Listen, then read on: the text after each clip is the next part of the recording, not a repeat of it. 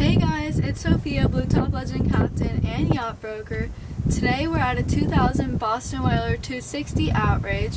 This boat is so beautiful. This is one of my favorite models, the 260 Outrage. It has a white hull color, a black powder coating, and a black rub rail. Paired with twin 2016 Mercury Verado 250s with only 220 hours on them. These engines are perfect. Stainless steel props, cruise speeds of 25 miles an hour, and top speeds of around 55 miles an hour, almost 60 depending on fuel fill.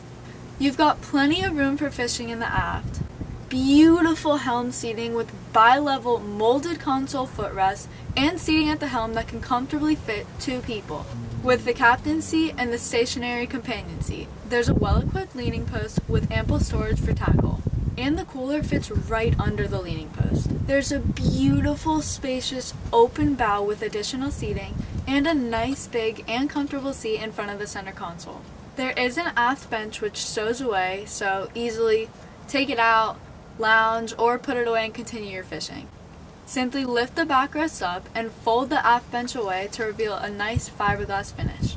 There's a wraparound bow with individual storage compartments at the port and the starboard. You've got coaming bolsters all the way around the boat that integrates right into the backrest. You have 11 total rod holders, two on each side, beautiful, and four rocket style up at the T-top under gunnel rod racks, two on each side, and three rod holders back along the transom along with your waist and water. And there's also a nice bait prep area. All around the boat you have six stainless steel cleats, two at the bow, two at the spring line, and two back at the stern.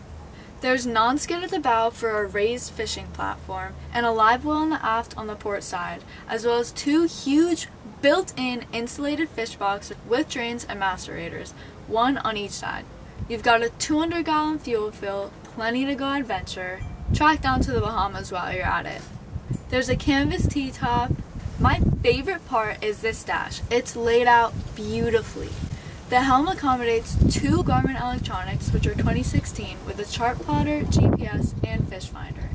There's a compass, Mercury vessel view, your windlass anchor control, and a locked glove compartment. You have an electrical horn, a digital throttle and shift, as well as rocker switches for the live well freshwater washdown and raw water washdown. There's stainless steel console grab rails for any time in the rough seas. You have a dash visor with a molded tempered glass windshield, and you do have a box up here as well that is lockable for personal items and just dry storage. In the center console you've got your head, and back at the stern you have your battery controls, your on and off switches.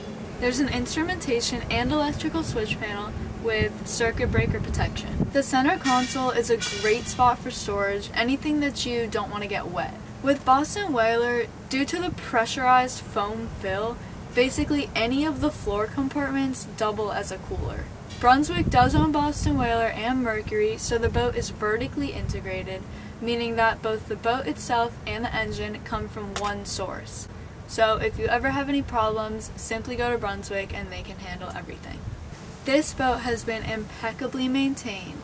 Boston Whalers recognized for their legendary craftsmanship and unsinkable hull. So yes, you can cut a Boston Whaler in two and drive away in the half with the engine. But unsinkability means more than just the safety of the single hull design. Boston Whaler has a smart design, high quality construction, and a forward thinking technology. So, you get premium experiences and comfort while you're also staying safe on the water.